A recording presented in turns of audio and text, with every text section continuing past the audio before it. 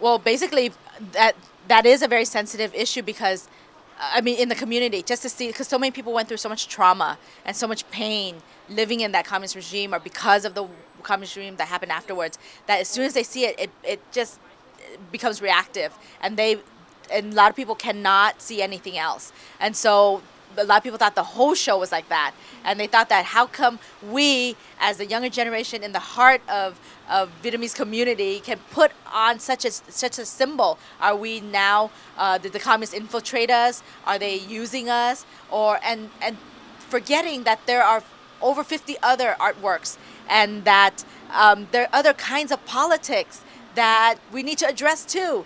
Not just, I mean, what about the, the politics of gender, you know, and how we use uh, young Vietnamese women's bodies as portrayed through the cat calendars, you know, wearing the Miss, like Miss Vietnam or whatever, yeah.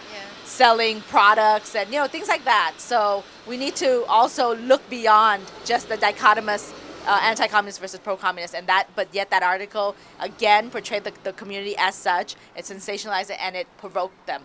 And unfortunately, a lot of other artists got, got lost because a lot of focus was given on this one photograph. Yeah, we re deeply regret that we had to cancel the performances for tonight as well as tomorrow. Um, the performers, uh, Lan Chan and Zuitam, um, and a whole host of other performers within this musical ensemble called Ko Yêu as well as One Mic, which includes um, a variety of different performers, but key within this group uh, are um, Do Le, Do Le and then um, Taylor Tu Hing Ngo, and uh, as well as Jenny Chang Le. And we just want to thank them for having been. Um, for wanting to participate in this exhibit. Um, and we really want to apologize to the performers as well as those people who wanted to see the performances uh, for not being able to. Um, um, follow through on that. Uh, we would like to say though that the reason why we're we canceled the performances is not out of fear, or not out of um, any logistical problems. Um, we saw that the community was very passionate. We saw how they were um, aggressive. Uh, aggressive. and hostile, and we actually felt. Um, not fear for ourselves. I think uh, throughout the last two weeks we've we've been pretty embattled. Um, but it was uh, fear for the safety of the performers and who knows what could have happened. So, but in the end, we just want to say that we deeply regret not being able to, to feature them. Can, can you just kind of make it clear that this is a precaution and not because of any direct threat? Right? Yeah. That's right. Yeah. Um, definitely, uh, it was just a sense that things could have gotten out of our control. Uh, easily, uh, today, for example, uh, because it was so tense, it was so um, it was such an impassioned uh, discussion that we really felt that if anything happened, then we probably wouldn't be able to live with ourselves if um, any anybody that we cared for uh, was hurt or uh, slandered in any way.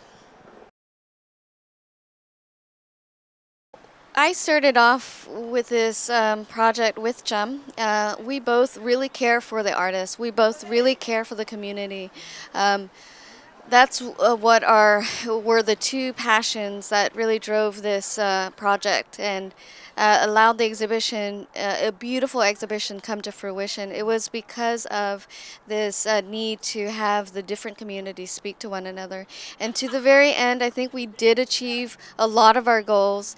We are very successful. I'm so happy for the artists because they were able to show, um, display their works.